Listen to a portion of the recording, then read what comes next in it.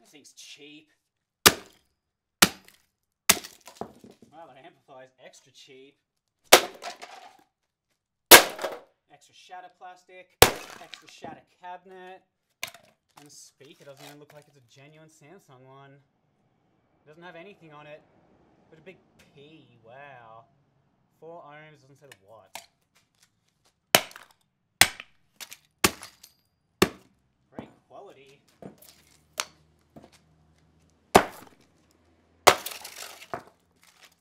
Cheap Samsung junk.